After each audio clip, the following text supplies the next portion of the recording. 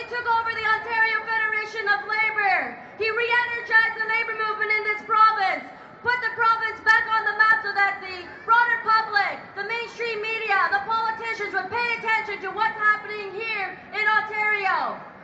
Brother Sid Ryan also led the way to ensure that a life-size bronze statue of Jack Layton and the naming of Toronto's uh, ferry terminal was renamed in honor and in the name of, of Jack Layton. We're also joined from the OFL with Secretary Treasurer Nancy Hutchison and to the Executive Vice President Irwin Nanda. And so, Brother Sid Ryan has also taken on the challenge there was brutal and a tragic death of a young 18-year-old Sammy Yatim who was murdered on a streetcar. He was outspoken, demanding justice,